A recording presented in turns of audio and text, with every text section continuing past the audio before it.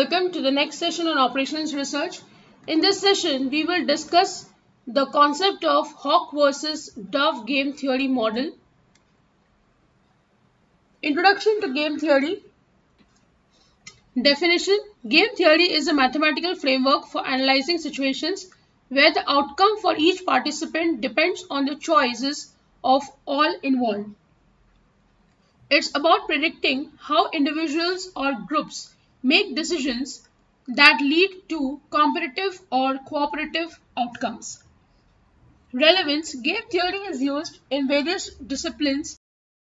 The first one is economics, analyzing market competition and consumer behavior, biology, understanding evolutionary strategies and animal behaviors, and third for social sciences, examining political strategies, negotiations, and social interactions. We have discussed about all this in detail in all the lectures that game theory is used in various disciplines. Economics, biology, social sciences are just a few to name. There is also political science. It is used in machine learning these days. It is used everywhere and also in day-to-day -day life examples like you're playing chess or you're playing rock paper scissors everywhere you make use of game theory now we are mainly talking about the hawk versus dove model. This model illustrates two primary strategies individuals can adopt in a conflict over resources. Hawks, these individuals are aggressive and willing to fight for resources, potentially risking injury. Doves, these individuals avoid confrontation, opting for strategies that promote sharing or retreating to minimize conflict. So this model is of interest because you are talking about the nature of two birds. One is a hawk and the other is a dove. But when they are in nature and they are in requirement of something, their behavior or their strategy is very different. Hawks are very aggressive in behavior. They are willing to fight for the resources and they are at risk of injuring themselves but still they would go ahead and do it. Doves on the other hand, they know that they will get hurt, hence they do not go for confrontation. They either cooperate and work together or they will retreat and move to some other place for say food or shelter or something like that. But they would not fight. So they are not in the situation of getting any injuries. Payoff matrix, matrix explanation. A visual representation of the outcomes based on the strategies employed, hawk versus hawk. Both engage in a fight, resulting in high costs due to injuries. This leads to a low payoff for both as fighting is costly. So when two hawks fight, they will obviously get injured. Hawk versus dove. The hawk wins without contest and takes the resource resulting in a high payoff for the hawk and a loss or zero payoff for the dove who retreats. So in hawk versus dove case, the dove definitely has to retreat and the hawk will win hands down and take away whatever resource for which they are fighting.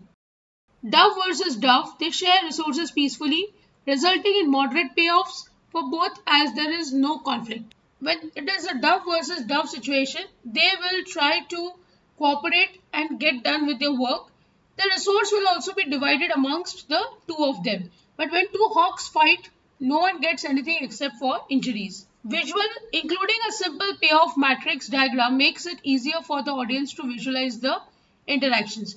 Key assumptions. Assumption 1. Resources are limited, which creates a competitive environment where individuals must strategize to obtain what they need. So this is the first assumption of this model that every resource in this world is limited and every individual has to be strategic enough to understand how they are going to obtain the resource in this competitive world. Assumption 2 individuals can adopt either strategy reflecting a choice between aggression hawk or non-aggression dove.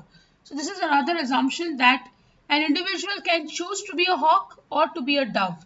Now what we are talking about is not only these two birds, it is also about the humans, how they can choose to react in a particular situation. Assumption 3. Payoffs depend on the interaction types. This highlights how different combinations of strategies yield different outcomes. So if two human beings decide to fight and hurt themselves and get nothing at the end, it's of no use.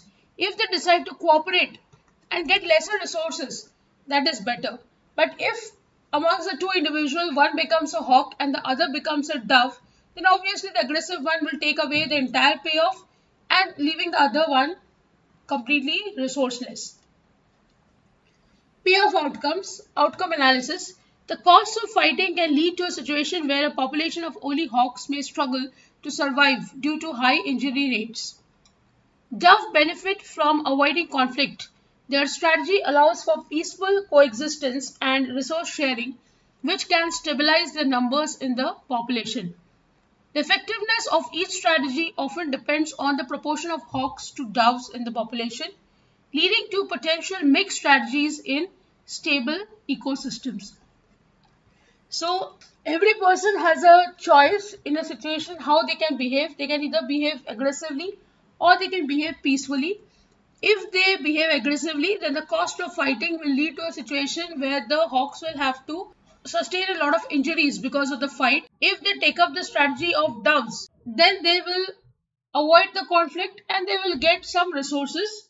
There will be an equal sharing of the resources and they'll be peaceful. But in the population, it is not possible that everyone will be a hawk or everyone will be a dove. Knowing the outcomes of the situation, then also.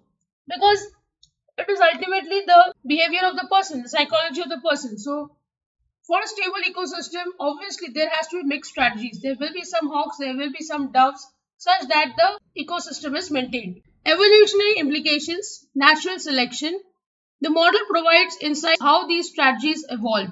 In a competitive environment, the population may naturally balance hawks and doves. If hawks dominate, high costs from fighting may lead to fewer hawks surviving over time.